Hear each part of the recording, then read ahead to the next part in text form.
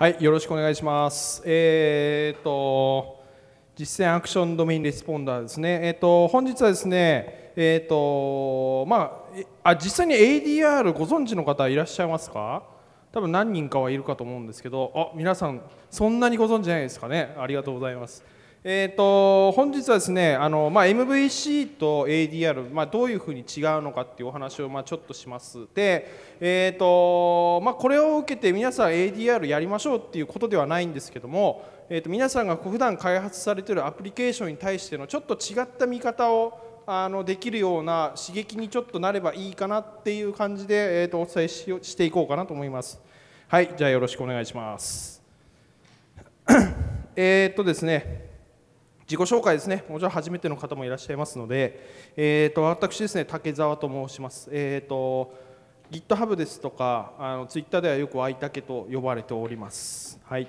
えーと、会社はですね、私、東京の方から来まして、アイスタイルというところにおります。えーと、多分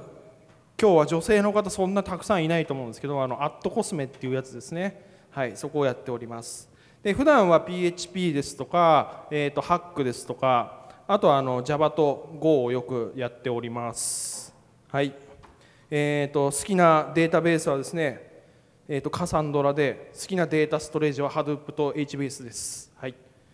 えっ、ー、と最近はですね、ビッグデータおじさんと呼ばれております。はい。あんまり面白くないですね。はい。はい。えっ、とまあ Twitter とかのアカウントこちらになりますので、まあもしよければ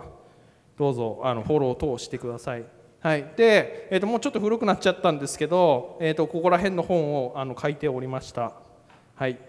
であのちょっとここには今日載ってないんですけどあの先日ですね PHP の現場というポッドキャストあの新原さんという方がやられてるんですけどもあのそちらの方でもあのなんあの2回ほどあのお話とかさせていただいておりますので、まあ、皆さんぜひあのお聞きになってそして評価のスターをつけてもらえればと思います。はいはい。でえーと、今日のですね話の内容なんですけれどもまずアクションドメインレスポンダーとは何ぞやっていうお話ですね。あのー、まあ、MVC と ADR、まあ、略して ADR とよく言われるんですけども、まあ、ADR の対比ですね。であとま各レイヤー、まあ、アクションとドメインとレスポンダーというところについてちょっとお話しします。で、えー、とそれを、まあ、お話をしてじゃあ次次っていうかまあもう週明けですね。明日から開発する人はそんなにいないと思うんですけどもあの普段の開発にじゃあそれをどうやって生かしていこうかっていうお話とあとあの本来はですねアクションドメインレスポンダーって実はあのドメイン駆動開発とはそんな関係がないんですね。なんですけどもあの若干そこら辺の知識も少しあのおありの方がより理解がしやすいと思いますのでドメイン駆動の話をちょっとだけします。はい、で、えーと、じゃあ実際にどういうふうに使っていくかというお話ですねというところを触れられたらいいなと思っております。はい、じゃあ早速、えーと、アクションドメインレスポンダーについて、えーと、進めていきましょう。で、えー、と普段皆さんが開発されているアプリケーションの話なんですけども、えー、とほとんどがリクエストとレスポンスの世界で生きているはずです。で、えー、とリクエストとレスポンスのこの一方向の世界の中で皆さんはきっとビジネスロジックを何かしらやってレスポンスで取ってくるはずなんですね。そうじゃないサービスの方って多分いないないと思うんですよ。まあ、HTTP2 でプッシュで送る方もいるとは思うんですけども何かがトリガーになって必ず情報が送られてくると。で、えー、とプッシュされる場合でも何かのビジネスロジックを通して、えー、と送られてくるわけですね。でじゃあリクエストとレスポンスじゃない世界のアプリケーションはどうでしょうと。例えばコマンドラインのアプリケーションです。で、えー、とコマンドラインのアプリケーションでも基本的には同じはずです。えー、とシグナルが送られてビジネスロジックが解決されて、えーとまあ、EXIT かなんかのステータスが返ってきて終了と。例えばデーモンでずっと動く処理でやっても基本的には同じはずです。デーモンが終わった時にステータス返ってきますからね。で、えー、とじゃあ一般的によく使われるアプリケーション例えば MVC に置き換えた時実はこういうふうになってたりもするんですね。複数のビジネスロジックをまたいでいて、えーとまあ、便宜上今ここではビジネスロジックという言い方はしますけども、まあ、複数のビジネスロジックをこう重ねて最後ビューに返すと、まあ、一般的なアプリケーションの流れであって MVC 風に置き換えるとおそらくこうなるでしょうと。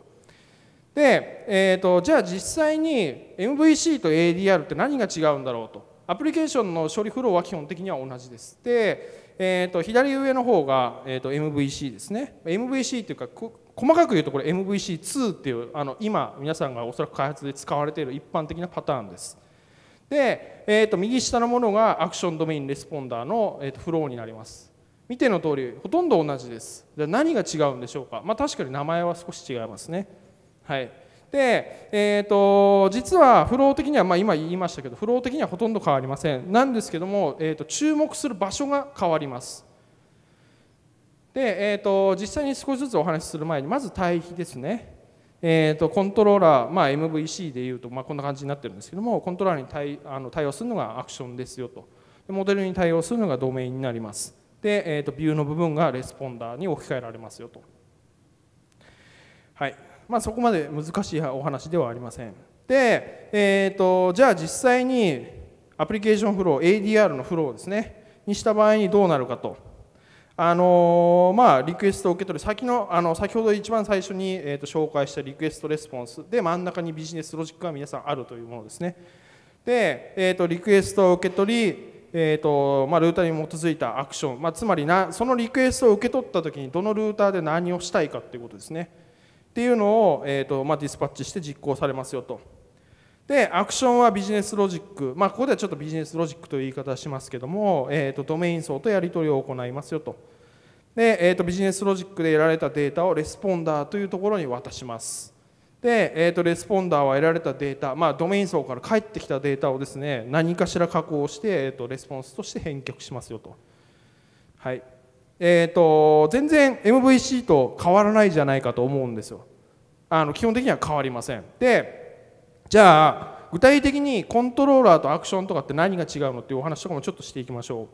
えーと、例えばですねコントローラーっていうのは皆さん大体まあこんな何て言うんですかねなんとかコントローラーがあって下に、えー、とそれぞれのルートに対応する、えー、とメソッドがあるはずです。おそらくほとんどのフレームワークはそうなっているはずですね。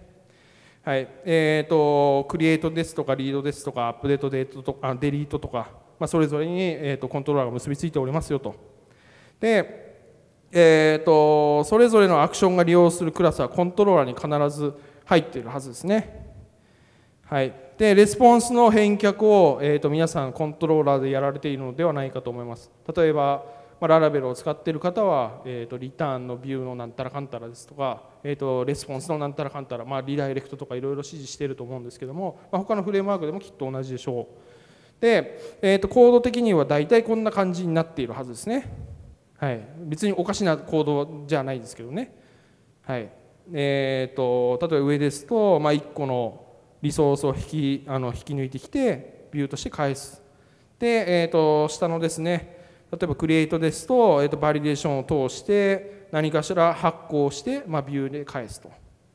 何もおかしおかしなことっていうか、まあ、一般的な流れになっています。じゃあ、えーと、アクションにした時にどうなるかと。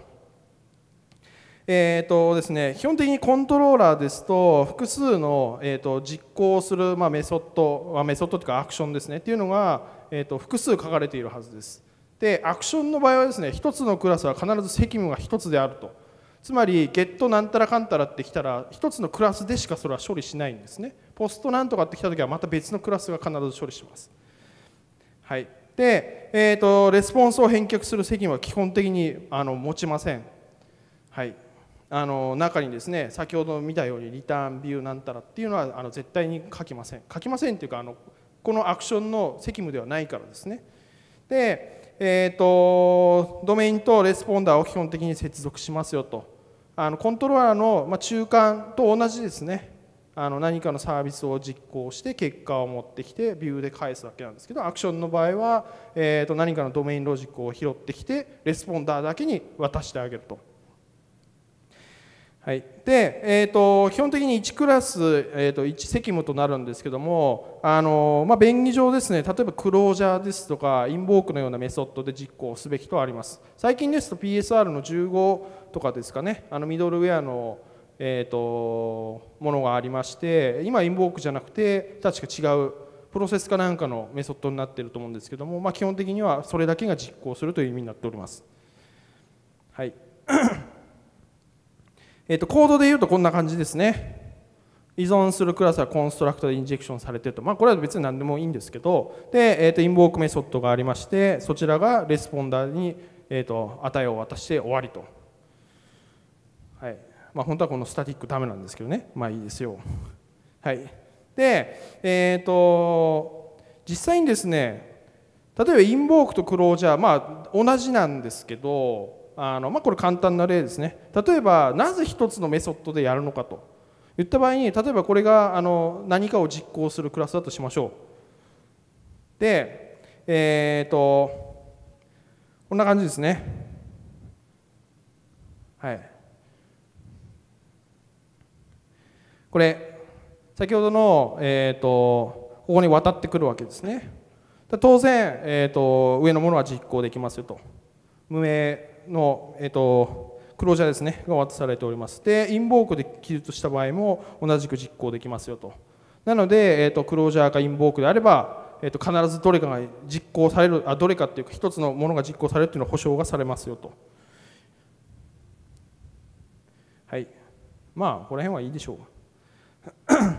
これ実際にですねあのまあよく今最近ミドルウェアっていうのはあの流行っているというか皆さん耳にすると思うんですけどもミドルウェアのこれ簡単な例なんですね。で、えーと、例えばミドルウェアと ADR ってあのよく一緒に使われることが多いです。例えば全土エクスプレッシブなフレームワークですとか、まあ、あとはいろいろあるんですけどね。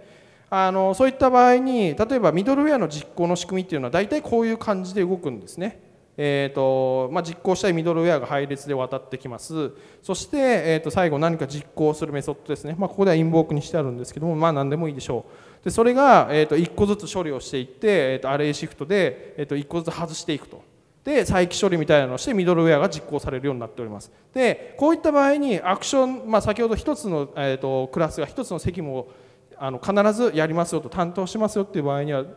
どうしても便宜上こう都合が良かったりしますのでなので最近のフレームワークはよくこういう感じになっております。はい、ミドルウェア作りたい方のこれをやってみるといいですよ。はい、で、えーと、モデルとドメインですねこれ便宜上同じなんですけども、えーと、ビジネスロジックを解決する場所でありますよと。で、えーと、とドメイン駆動のパターンで実装するという意味ではありません、まあ、先ほども冒頭で説明しましたが、で、えー、と必要に応じて状態の、えー、と返却ですとか、まあ、保存とかっていうのをやりますよと。永続化ですね。でエンティティとかはあのレスポンダーで利用することがよくあります、まあ、ドメインオブジェクトですね。必要最低限のものになります。で、えーとまあ、モデルとかドメインって何っていう話は、まあ、もちろんするんですけど、あのー、まあ一般的にはモデルイコールデータベースでは本当はないんですけどもあの例えばそのデータベースから引っこ抜いてくるロジックが皆さんのビジネスロジックそのものであれば別にそれはドメインと確かに言えることでもありますし、まあ、モデルという言葉にしてもいいでしょうと、まあ、あまりそういうところまで気にしなくていいんですけどね。はい、で、えーと、ビューの部分ですね MVC のビューはコントローラーが コンテンツの生成を行います。まあ、先ほどコードの例でもちろん紹介しました。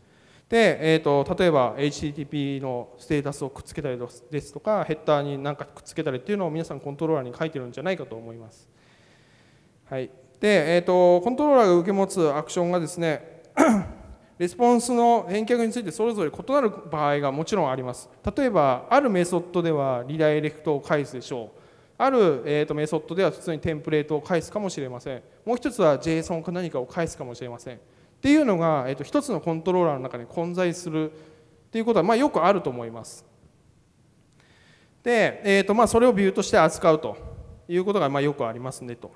で、えーとまあるメソッドではですねプレゼンターが必要な場合ももちろんありますあの複雑なビューをレンダリングするときに、えーと、いちいちこうなんていうんですかねビューで表示するロジックがそこに入り込むのではなくてプレゼンターに渡して何かしないといけないとまあ、ビューでよくあのそういうことが起きますと。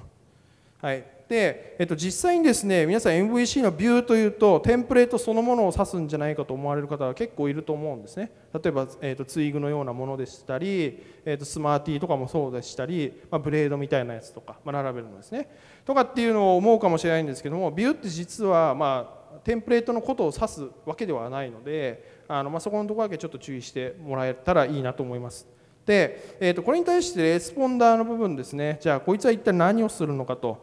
えーとまあ、先ほどもずっとかずっと言ってますけどアクションに対する、えーと、レスポンダーをですね個別に用意していきます、えーと、一つのアクション一つの、えーと、ドメイン一つのレスポンダー。つまりレスポンダーっていうのはこの、えー、とドメインが来た時ドメインオブジェクトが来た時どういうふうに返すのかっていうのをレスポンダーが担当するんですね。でアクションはあくまで実行させるところのみしか担当しませんので、えーと、コントローラーに返したビューリターンのビューとかっていうのはアクションではなくレスポンダーの責務になります。はいえーとまあ、ここに書いてることですね。で、えーと、アクションの ADR の求め求めているというか目指しているところですね、えーととにかく注力するものを小さくそしてかつ必要最小限の単位にしていこうとまあ、ドメイン駆動に通じるようなところではあるんですけど、まあ、必ずしもドメイン駆動のことを指しているわけではありません。で、えーと、これですね実はプログラミングの言葉で言うと、まあ、こういうやつですね単一責任の原則と。えー、と小さくすることによって、えー、とそのクラスが解決するものが必ず一つになりますよと。コントローラーの場合先ほども言いましたけど、えー、と一つのコントローラーがたくさんの責務を負うわけですね。ビューを返さないといけないあビューではテンプレートを返さないといけないリダイレクトもしないといけない JSON も返さないといけないともう忙しいわけですね。で、えーと、確かにレスポンスを返すというところでは単一責任の原則に沿っているのかもしれないんですけどももっともっと小さくできると。っていうのを、えーと、レスポンダーというところに切り出したりですとか、えーと、メソッドを複数持つのではなくアクションとして、えー、と一つだけ追わせると。例えば現実世界の話をちょっとするんですけど、えーとまあ、なんで宝くじの写真を出したのかというとですね皆さん今宝くじ当たったとします。で宝くじ当たったら皆さん次な何をしますか？まああのこれ本当かっつって誰かに叩いてくれとか言ってこうペチンとかやるかもしれないですけど、まあ、ただそういうではないんですよ。宝くじ当たったら皆さん必ずお金を引き換えに行くわけですね。で例えばお金を引き換えにこう銀行に行った時にですねあの宝くじ当たったんでこれくださいあお金くださいって言ってまあそんなストレートな言い方しないかもしれないですけど例えばするとしますね。でそれは、えーと、宝くじが当たった。そしてお金を引き出すために、えーと、銀行に行くんですよ。で銀行からお金をもらうんです。でこれまさしく ADR の姿を現実世界に置き換えたものという例で僕はよく使うんですけどで例えばですねコントローラー風に言うとですね、えーと、宝くじが当たりました。で、えーと、お金を引き換えに行くんですけど、えーとまあ、引き換えるこう銀行員の人に例えばですね私あの借金返したいのだと車が欲しいのでお金くださいって皆さん言わないですよね。そこにはこう目的はあるんですけどそこに至るまでいろいろあるからですね。はい。まあよくわからない話かもしれませんが。はい。まあそういうことです。まあ、あのちょっと詳しく知りたい方はあの後であのアスクのところ。はい。じゃあじゃあ次行きましょう。えっ、ー、とドメインレイヤーについて、まあ、ドメインレイヤーというか、まあ、アクションドメインレスポンダーなので、えーと、じゃあ D のところをちょっと行きましょう。で、えーとまあ、冒頭にもこれもあの説明しましたが、えーと、DDD とは本来関係ありません。アクションドメインレスポンダーは。なんですけども、えー、とおそらくこの ADR が何を結局したいのかあと、まあ、その話を聞いた後に皆さんがじゃあ今のアプリケーションに対してどういうあのアプローチをしてどういうふうに問題を解決するかっていうきっと助けになると思いますので、まあ、一応これもちょっと簡単にご説明していきます。で、えーと、これも東京の PHP 勉強会参加されてる方は何回か聞いたことある話なんですよ。これ僕話すのこれ3回ぐらい言ってる話なんですけど、えーと、例えばですね皆さん今アプリケーション開発皆さんされてる方だと思うんですよ。でアプリケーションは必ず何かを解決するために作ってるはずです。自分のためにもちろん作ることもあるとは思うんですけども自分の何かをこう満たすために作るわけですね。で例えば一般的なアプリケーションの例で言うと、まあ、サービス要件というものは必ずありますよと。えーと、ユーザーの登録情報が取得できるとか、えーとまあ、購読情報を取得できるとか、まあ、いろいろあります。はい、で、えーと、それに対して皆さんアプリケーションを作る時ってきっとあじゃあこれはこうするから、えー、と MVC でこういうふうに作って、えー、とモデルのところはこういうふうにやって SQL をこう発行してこう取ってこようって皆さん思うはずです。で実はそれサービス要件と違うものが混ざってるんですね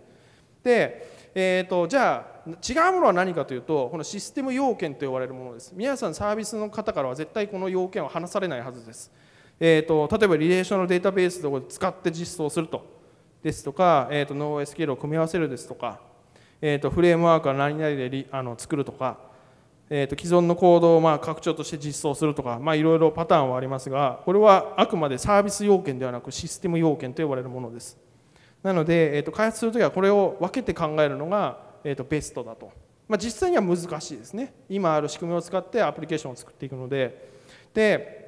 よくあのドメイン駆動とか、まあ、ドメイン駆動じゃなくてもいいです、えー、とレイヤードアーキテクチャですね。とかっていうのでよく言われるのはまあこういうパターンですよと。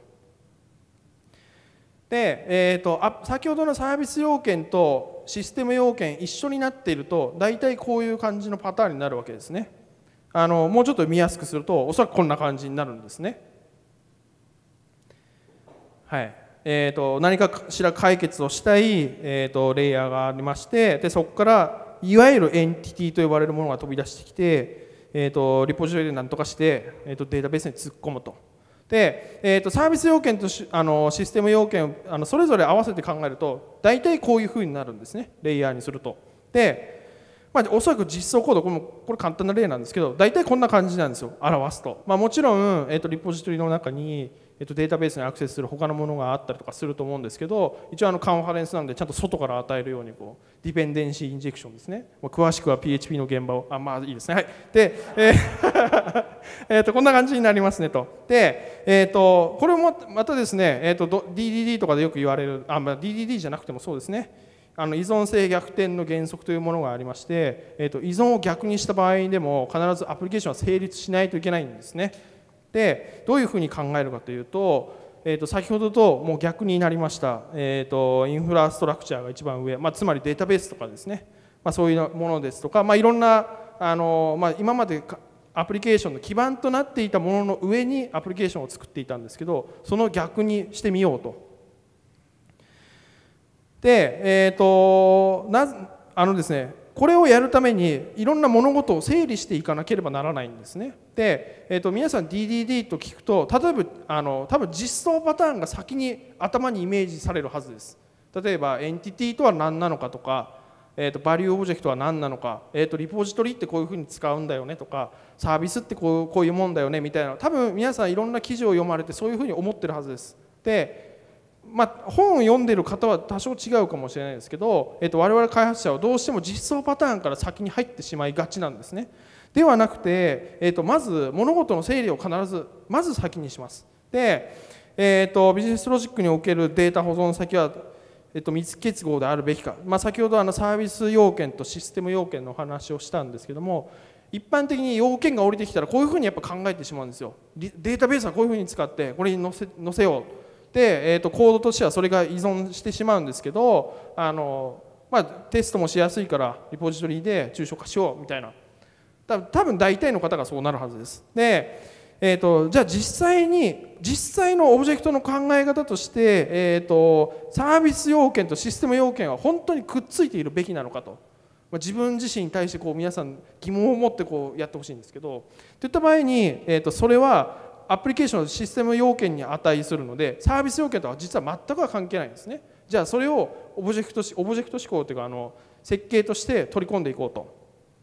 で、えーと、ユーザー情報取得という事柄動作においてデータベースはどうどうするかとか何を使うかっていうのはもう全く関係ないからじゃあとりあえず切り離そうと。で大体切り離すとおそらくこういうふうになるんですね。先ほどのあのレイヤーの構造があったんですけどであのそれぞれつなぐのではなくてもうまず分離して考えようと。はいえーと、実装パターンからではなく、まあ、アプリケーションをよく噛み砕いてちょっとあの細分化していってみようと。で、えーと、まずその細分化したのはいいんですけどじゃあそのアプリケーションが今注力しないといけないものは何かっていうのを考えていきますと、まあ、登場人物ですね、まあ、利用者でもいいですし、えーと、アプリケーションが表現する登場者でもいいですで、えー、とビジネスロジックの主役は一体誰になるのかと。はい。えーと、例えば先ほどあの宝くじのお話をしましたけどきっと宝くじを取りに行くっていうアプリケーションを皆さん今作ったとするとユーザーと宝くじが出てくるはずです。その中になんか違うの出てこないですよね。マンホールの蓋とか。はい。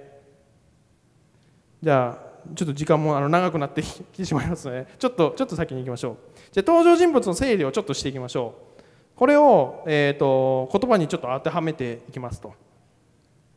例えばエンティティと言われるものですね。あのー、皆さんエンティティってデータベースのカラムとイコールだと思ったりとかしないですか？大丈夫ですかね？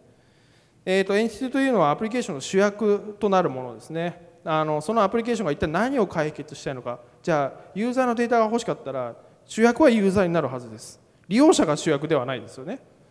確かにアプリケーションを使う人は主役かもしれないですけどそのアプリケーションそのものは主役は、えーと、ユーザーのデータになるわけです。で、えーと、個体を識別できるものというものが、えーと、定められております。つまり、まあ、その人のこう識別可能なものですね。データベースでいうとおそらくプライマリーキー使ってる方は、まあ、プライマリーキーがなるかもしれません。えーとまあ、これとあれとそれと同じものですかと。例えば私は今持っているマイクと、まあ、これマイクのスタンドですね。これ当然違うものなのでエンティティとしては別物です。で、えーと、5歳の頃の私と今の私は同じかどうか。これよく有名な例えではあるんですけどこれちなみに5歳の頃と今の私は違うっていう皆さん思うと思うんですけどこのオブジェクトで表現した時にどうどうだと思いますか？5歳の私と今の私、えーと、オブジェクトで言うとこれは同じですね。エンティティで言うと。で、えーと、私という個の存在は変わらなくて年齢だけが違うわけですね。例えばあのなんていうんですかね。この中に1回死んだことある人って多分いないですよね。あのスーパーマリオのようにこうキノコ食って俺あと3機残してるみたいな人は多分いないですよね。すいませんね例えが下手で。で で当然この主役というのはアプリケーションによって異なるんですね。なので皆さんよくドメインコードの本を何冊か買ったりこう読んだりすると思うんですけどあそこに載ってるコードを写経しても全く意味がないので、えー、と考え方だけを学ぶようにしましょうと。で、えーとまあ、先ほども言いましたけどデータベースのカラムとイコールのものではありませんよと。でコードの例で言うとまあもうこんな感じですね。もう有名な有名っていうかもうどこでも見るコードなのではい飛ばしますね。で、えー、とこれに対してバリューオブジェクトというものがありますよと。先ほどの例で言った5歳の頃の私と今の私は同じかって言った時に年齢だけが違うっていうお話をしましたがこの年齢がそのバリューオブジェクトに当たります。あくまでその人の属性でしかなくて、えー、と識別値としては、まあ、どうでもいいことなんですね。どうでもいいことっていうのもちょっと失礼なことかもしれませんけど例えばあの、まあ、一般的な会員を使うようなアプリケーションでいうとおそらくユーザーエンティティというものがあった場合に例えば ID と名前がおそらくその人を識別できるものに多分なると思うんですね。でこれが例えば皆さん今病院のカルテを作るシステムを作るとしましょう。であればその時におそらく血液型っていうのは多分エンティティに返ってくるかもしれないですね。献血の仕組みとかっていうのをする時にはきっとネームはどうでもいいんですけど、まあ、血液型が重要になってきたりとか、まあ、おそらくアプリケーションによってその見るところが変わってくるのでここが必ず変わっていきます。でその時にバリオブあるアプリケーションではバリューオブジェクトは、えー、と血液型が相当してたんですけどあるものではエンティティの中にいるかもしれません。はい。で、えーと、よくですね私の会社でたまに言われるんですけどバリューオブジェクトってあのテンプレートでレンダリングする値ですよねって言われるんですけどあの全然そういう意味でもないので、まあ、難しいんですけど。で、えーと、リポジトリとよく言われるやつですね、まあ、永続化を行うって難しくあの言うとこうなっちゃうんですけど、まあ、エンティティの集合体を扱う、まあ、コレクションのようなものだと思ってください。でここまでは多分皆さんよく聞くものなんですよ。で先ほど言った、えーとデータベースは何を使うべきかとかっていうのをえーと、大体皆さんリポジトリに書くんですけど、えーと、このリポジトリカラムを引き剥がしますで何を使って引き剥がすかというと例えばこのスペシフィケーションパターンというものがありまして、えーと、この要素は何であるか、えー、と何を満たすものかっていうのを調べるクラスを導入するわけですねつまり、えー、とデータベースをあのこのリポジトリに対して、えー、とこのスペシフィケーション仕様パターンを使って、えー、とこのリポジトリは何で操作しますよっていうのを外から与えてあげるんですよ。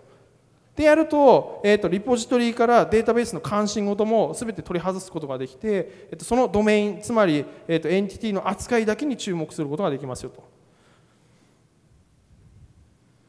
はい、もうここもですね話すと長くなっちゃうのでちょっと飛ばしていきますね。はいまあ、コードで言うと、まあ、おそらくこんな感じでしょうと。はい、で、えーとまあ、リポジトリとスペシフィケーションというのは相互に作用するものですので、まあ、こんな感じになります。ある条件、要求に合ったエンティティを返却したり保存するのがリポジトリであると。じゃあ、その要求と、まあ、仕様ですね。満たすかどうかっていうのを外からこのスペシフィケーションっていうのを介して、えー、とそのリポジトリの操作をするわけですよね。これをすることによって皆さんのリポジトリクラスにある、えー、とゲットなんたらかんたらとかあのセーブなんたらかんたらこんとかみたいなこうすげえ長いやつがどんどんどんどん縮小されていってその責務はこのスペシフィケーションが負うと。でクラス自体はどんどん小さくなっていくと、まあ、先ほどあのちょっとお話ししたあの単一責任の原則みたいにですねどんどんどんどん、えーと、考えないといけないところが減っていきますと。実際にアプリケーションで使うと、まあ、こんな感じになりますと。これはリポジトリと、えーとスペシフィケーションを組み合わせてやってるところですね。はいまあ、これもちょっと飛ばしましょう。はい でよく一般的に言われるあのサービスクラスと言われるやつですね。例えばユーザーサービスってクラス、まあ、皆さんこれ使う作るとですねユーザーっていうデータを操作するとこなんじゃないかっていうのを想像してユーザーサービスクラスっていうのがめっちゃでかくなるんですね。あの前にあの聞いたでもそう Ruby の方がそういう記事書いてましたけどそういう名前は付けないようにした方がいいですよっていうお話です。はいで、えー、とここはですねエンティティとかバリューオブジェクトで表現できないところをやりますよと。つまりどういうことだってばよっていうとですね例えば、えー、ともののそうですね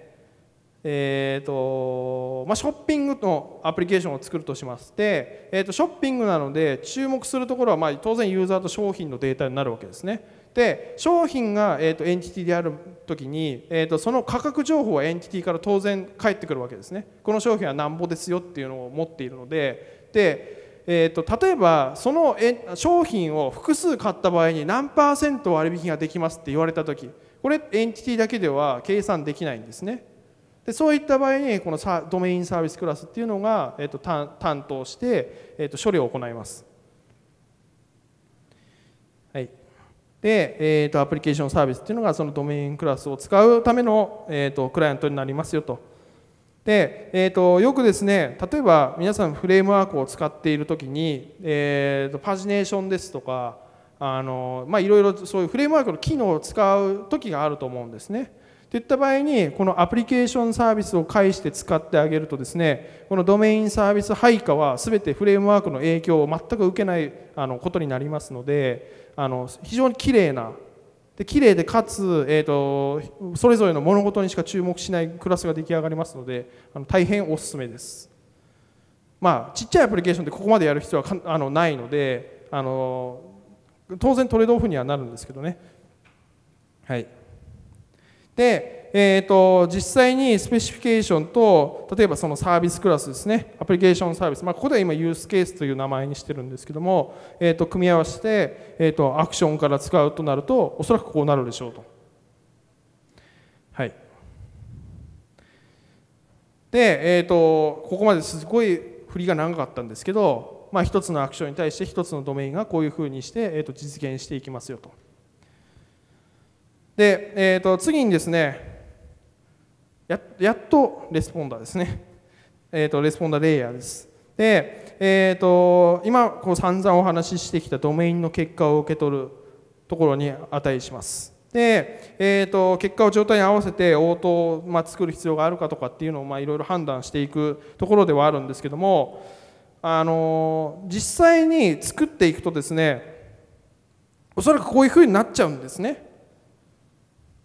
ドメインのところで受け取った値を、えー、とレスポンダーが当然担当するんですけど例えばそれが、えー、と配列が何もない時に、えー、と404レスポンスを返したりですとかそれ以外の時に、えー、と200を返したりですとか、まあ、よく一般的にやる処理なんですね。なんですけど、えーと、この下にあるインボークのメソッドに注目していくとですねよく注目するとドメインの中身を知らないとこのレスポンダーは何もできないんですよ。何もできないという言い方するとちょっとあれですけどちょっと責務が多すぎますねと。で、えーと、これを解決するために、えーと、ドメインペイロードっていうものを使います。これはあの実践ドメイン駆動の本にもあの少しだけ紹介されてますので気になる方はちょっと見てみるといいかもしれません。えーと、こいつはですね、えーと、レンダリングに必要なオプションとか状態を、えーと、持って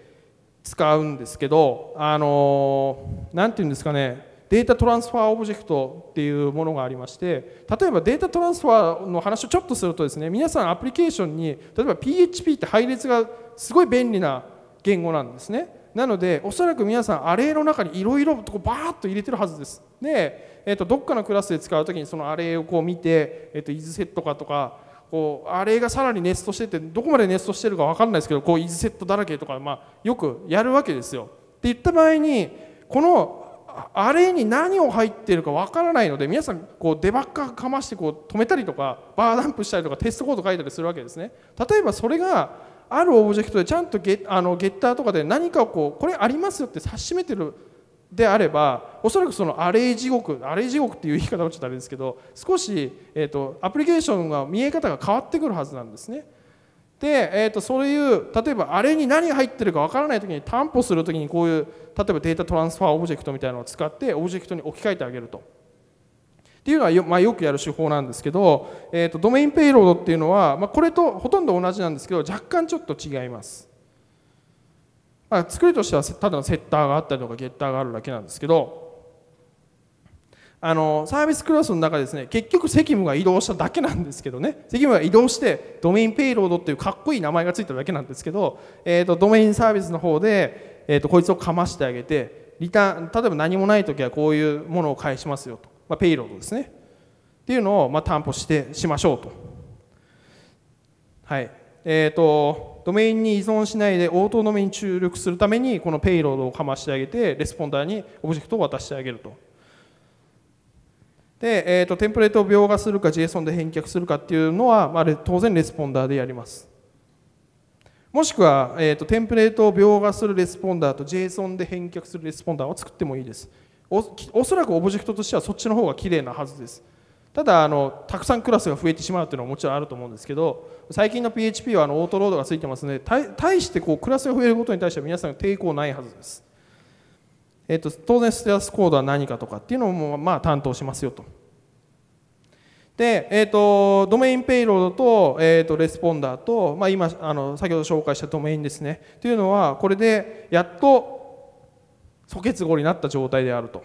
おそらく言い切れると思います。で、えーとまあ、これが ADR の主な話プラスちょっと DDD の話があったんですけど大体責務としてはこういうレイヤーあの分かれていってレイヤーとしてはこういう形になっております。で、えーと、よく言われるんですけど、えーと、ADR って、えーと、CQRS っていう考え方があるんですけどこれとよく似ていると言われるんですね。で、えー、と CQRS 自体はこういう感じになってるんですよ。つまり、えー、とコマンあのものを出す時にこうコマンドを送るわけですね。あものじゃない、えーと、値を保存したい時にコマンドとして送ります。これを保存してください。で保存した結果っておそらくほとんどの場合必要ないんですね。で、えーと、値を欲しい時だけ、えーと、クエリを発行して引っ張ってくると。で、えー、と ADR に置き換えられるとこれがそれぞれのアクションが担当するので、えーとまあ、非常に考え方的にはよく似ていると言われます。で CQRS の話をちょっとすると一般的によく使われるのはですよね、えーと、メッセージ Q とかですね例えば、えーと、マイクロサービスアーキテクチャとか皆さんちょっとやってたりすると思うんですけど他の、えーと、サービスに値を渡してあげない時ああ渡してあげないといけない時ですねという時に、えー、とアプリケーションでこう一生懸命頑張って作ると手続き型になってしまうわけですね。って言った時に例えばアクティブ MQ とかラビット MQ もしくは今あの最近ビッグデータで使われているカフカなんかに、えー、とデータを上げてあるアプリケーションが勝手にコンシュームして取ってくると。これは、えー、とこの CQRS の考え方に基づいたものですね。はい。ちょっと時間も迫ってきたのでちょっと飛ばしますね。はい。で、えー、とじゃあ ADR のお話はこれこれで終わりなんですけどじゃあこの話を聞いてじゃあ実際に明日からの開発でどういうふうに使っていこうと。例えば、えーとまあ、皆さんコントローラーものすごくでかくなっているかもしれませんで、えーと、その大きくなってしまったコントローラーをちょっとリファクタリングするときに、えーと、ADR の考え方をちょっと使うと。はいえーと、新規で開発するもの 以外に導入、まあ、とりあえずちょっとしてみましょうと。で、えー、と複雑化したコントローラーをとりあえず1つのクラス1つのメソッドにまず切り出していってみましょうと。で当然、あの使ってるフレームワークによってはですねルートをこう生成するためにこのメソッド名じゃないといけないっていうのは必ずあると思うんですね。なんですけどあの一つずつのクラスにしていけばおそらく、えーと、そんなにルーターを変えずに移行ができるはずです。で目的に合ったクラスをあアクションを担保するようにちょっとずつ変えていきますよと。で、えーと、なんとかサービスとかなんとかモデルとかもしあって例えばそのデータを受け取ってあこういろいろ混ぜこぜやってビューに返してるのであればちょっと先ほどお話ししたドメインペイロードみたいな間のクラスをかましてあげてそれを経由して取ってくると。はいえーと、例えばコントローラークラスですね皆さんのクラスがもしこういうふうになっていたら1個ずつ切り出してみます。まあ、これも先ほどから言ってるあの例ですけどね。で大きく処理を変えずに例えばビューとかもちろんあるんですけど、えー、と ADR のエッセンスだけ取り込むとおそらくこういうふうにしてリファクタリングしていけるとで今までテストがすごい難しかったコントローラーがおそらく少しずつテストが書けるようになっていきますで、えー、と次にですね、まあ、ビューとレスポンダーですね。これを置き換えていくと。はい。ドメインからの値に応じて処理を変更しているものがあったらえーと、空の場合はステータスコードの変更変更をするとかっていうのを、まあ、かましてあげようと。はい、でテンプレートの指定をですねあの先ほどリターンのビュー書いてあったんですけどそれだけレスポンダーにしてみると。で例えばその時にコントローラーは同じように複数のメソッドがあってもいいでしょうどれか一つずつだけエッセンスを取り込んでいくことによっておそらくどんどんどんどんアプリケーションのリファクタリングや、えーと保守やメンテナンス性っていうのが上がっていくはずです。はい長くなっていくので飛ばしますね。で、えーと、ADR を使う上でですねいろいろ課題も当然見えてくるんですよ。例えばエンティティ先ほど言った DDD のエッセンスを入れてエンティティみたいなのをした時エンティあのドメインオブジェクトとしてエンティティが前面に出てきますので、えーと、こいつをどういうふうに JSON にしてやろうかとか、えーと、XML に置き換えて、まあ、XML 最近使われてる方いなそんないないと思うんですけど、まあ、そういったものに置き換えてやろうかっていうのを考えてレスポンダーでおそらくこういろいろループしてこう置き換えていってってやると思うんですけど、まあ、そういった場合にですね、えーと、PHP にはシリアライズの大変あの優れたライブラリがありましてあのこの JMS シリアライザーっていうやつですねこれアノテーションで、えっと、このオブジェクトあのオブジェクトはこういう名前で JSON に変換してくださいっていうのは指定ができますので、えっと、レスポンダーの責務からもこう外してあげて結構きれいに、えっと、かつそのドメインドメインというかあの皆さんのアプリケーションで注目しないといけないところだけに注目できるようになりますので大変あのコードもきれいになります。でえーとまあ、散々言ってきましたけど宝くじの例でももちろん挙げたんですけど結局は ADR っていうのはこの行動と目的と応答だけに、えー、と着目しそれぞれのものに着目してかつこの目的だけ皆さんがアプリケーション開発するときに、まあ、着目できるようにどんどんどんどんちっちゃくしていきましょうというのが、えー、と本来の目的ではないかと思っております。でえーと、なかなかですね、まあ、現実世界にこう近い考え方ではあるんですけど当然行動をそれに置き換えていくのはなかなか難しいことではありますので、まあ、ひたすらちっちゃくどんどんちっちゃくしていくしかないということですね。はいでえーとまあ、散々お話ししてきましたけども当然フレームワーク何かのフレームワークを使わないといけないものではありませんので皆さんのアプリケーションですぐもう今日からご利用ができますよと。はいもう時間が来ますので飛ばしますね。で、えーと当然デメリットみたいなのもあります。はい、ここら辺もですね、飛ばしていきますね。はい。フレームワークもですね、これありますね。はい。後で、あの、あそこの、あそこで聞いてください。はい。